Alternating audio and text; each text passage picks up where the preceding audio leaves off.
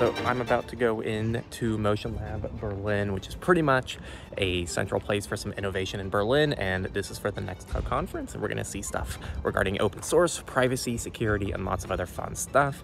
Let's go ahead and go inside. It's very lucky that they picked this blue bus because it matches up perfectly with that Nextcloud blue that you're all familiar with. This bus has actually been converted to be used as a meeting room. You can see that it's sound treated. Here's the driver's seat. And if I upstairs, this is my favorite part. You go in this tiny little room, and I can interview people from the top front of the bus. The way that they keep airflow inside the bus so people don't like die is they use little desktop fans. Thought it was neat. And for those of you who don't know what Nextcloud is, it's all about data ownership, which is easily an extension of privacy because this relates to who owns your data, who owns other fun things in your life, who owns your passwords, who owns your diary, who owns your chat logs. If you want to have the Google ecosystem or the Apple ecosystem without these big tech companies who influence and control what you have and can do, that's where Nextcloud comes in.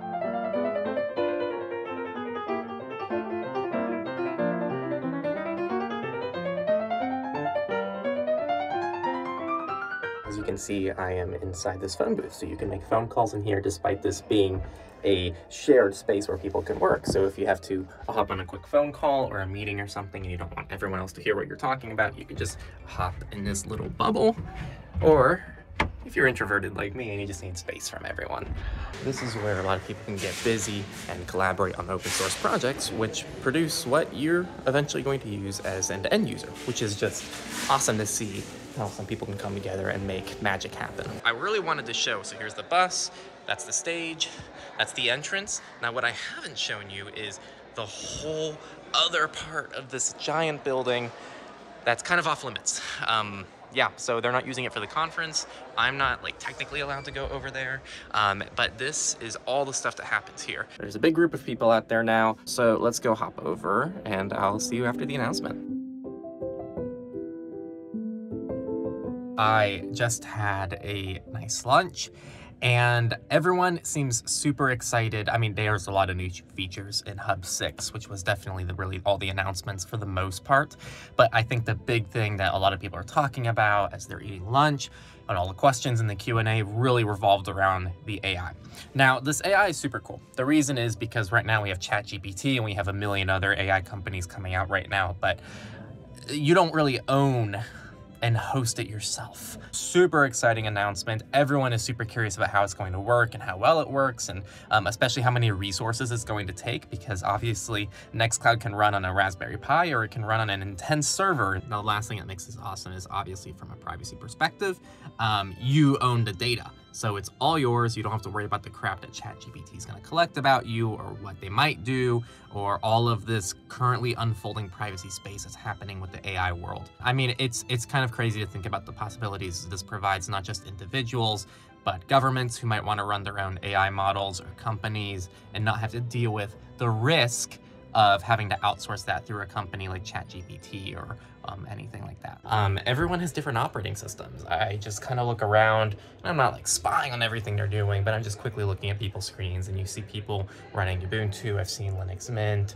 I've seen Mac OS, a lot of Mac OS actually, a couple Windows machines here and there, but it's cool to see the diversity of operating systems. Don't you love just walking by some Monero stickers on the way back? Now, one thing that's definitely fun for me to probably talk about is, um, do any of you remember that Nextcloud Made Easy series that I was going to make?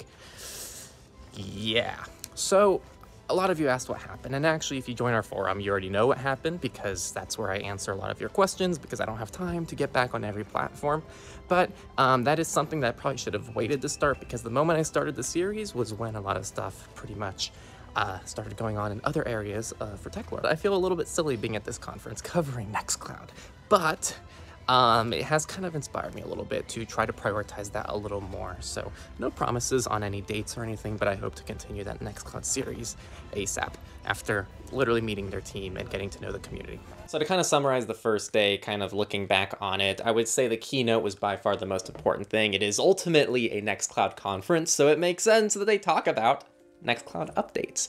Um, but they also had the panel sessions as well, where they covered that trust, transparency, and together. And that is on YouTube now. And you should definitely check out that panel discussion because they cover a lot of interesting concepts. It's just a wonderful discussion. And there's also all the lightning talks as well as the workshops that happened on the first day. And I cannot tell you all enough, you need to check out the Nextcloud channel, which I'll leave linked what in the card thing and also down in the description. And now my camera's all over the place but um, definitely check out those first days. I also want to take this time to quickly uh, thank our sponsors uh, which for this video are both tutanota tutanota is our recurring sponsor and they're freaking awesome. They're the email provider and they run on renewable energy and i love what they're doing over there. And also nextcloud uh, pretty much uh, flew me out there for the conference to cover the conference. And so i also want to thank nextcloud uh, to help me put this video together as well.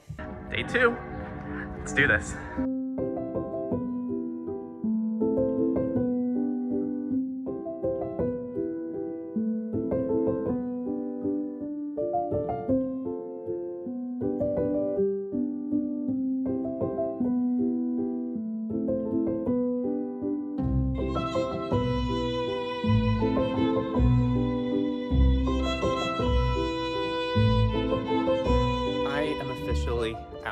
of the conference.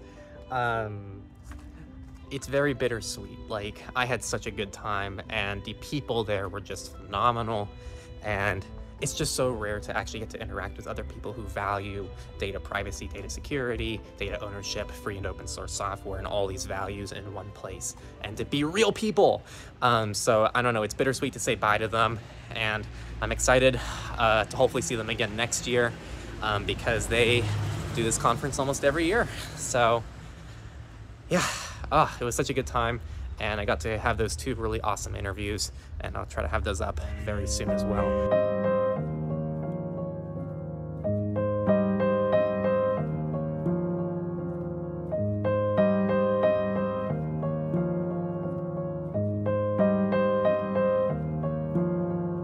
Now, the second day for me felt more like serious business. Today, it was really getting into the talks, getting into the discussions, the panel discussions, and uh, at the very end of it, to speak to this, is when they start their coding workshops. Get ready for those. Very good interviews if you want to get some more insight into how Nextcloud works internally, as well as some of the uh, community around Nextcloud, because the first interview is with a Nextcloud employee, and the second one is with a, a volunteer who helps contribute to Nextcloud and uh, other various Nextcloud projects. And so we kind of get perspectives of the community community as well as the internal Nextcloud team.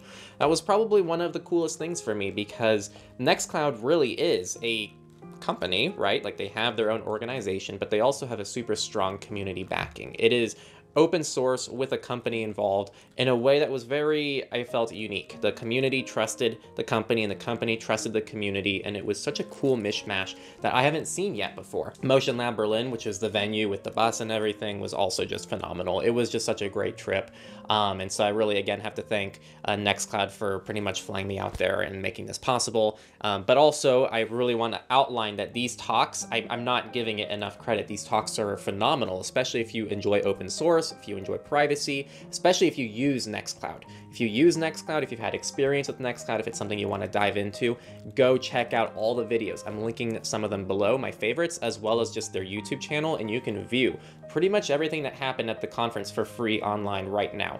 Um, so you're not going to get that cool in-person experience, but you can still learn and educate yourself and see what everything's about by watching those videos. So go check those out. I want to thank again Nextcloud for flying me out. I want to thank everyone I interviewed for taking time to be there. I want to thank everyone who was there. Um, a few of you did recognize me, which is always kind of fun to meet people in real life who like our content. So thank you all very much for the kind words. Thank you for watching as well. If you like this kind of content, I know it's kind of different and not normally what we do here. Normally everything is filmed inside this room.